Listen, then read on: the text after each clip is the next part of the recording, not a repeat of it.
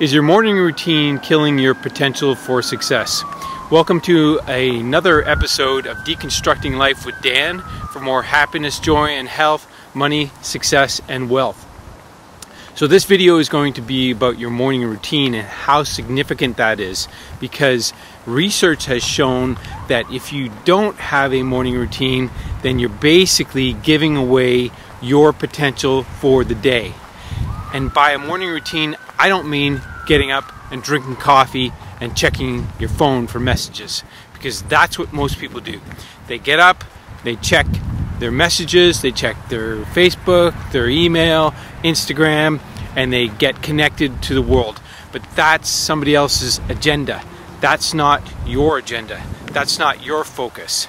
And I've studied people who have studied the most successful people around the world for years, and that's the one thing that they treasure the most. It is their morning routine, their morning ritual.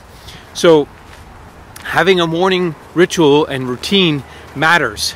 And most people drink coffee and check messages, but I'm suggesting that you do something different because if you want to have more success and you want to have more potential in your life, then you need to have a routine that gets you physically, mentally, emotionally prepared for the day instead of just getting up and doing what everybody else is doing. So, years past, I used to just get up and start checking messages right away because I had a job and I was looking at the messages my boss was sending me and seeing what I had to do and he was up all night so I could see his messages in the morning and then I could get to work right away. And it was very action oriented. So if you're that type of person, you're action oriented and you like to get right into things and take care of matters, then this is going to be a challenge for you. So I'm going to suggest that you do something a little bit different that involves doing some physical activity, maybe doing some yoga or meditation, doing something different that's going to cause you to be prepared for your day. Because when you are, you can have challenges throughout your day and not get all frustrated and angry and lose it because eventually you're going to run out of willpower because you're using your energy to solve those problems and you don't need to do it.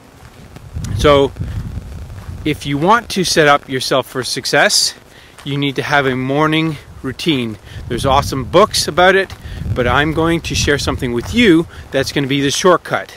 And it's a summit that I'm on right now called the Shortcut to Success.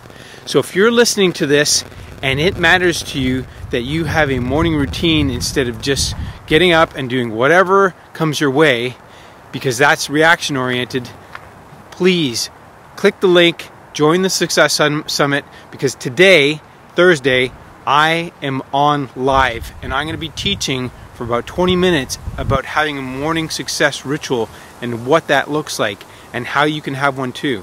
And it's very simple. You don't need a lot of time. If you have 15 minutes in the morning, you can do something.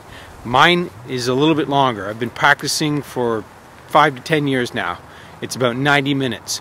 So if you want to have a morning routine that sets you up for success in your day, then click the link and join the Success Summit, the uh, Productivity Success Summit and get the free assets there, to get the free downloads that you can use right away and put to use and stop getting up and drinking coffee and checking messages in the morning. It's it's going to kill your success if it isn't already. So as always, thanks for watching and I'll see you on my next video.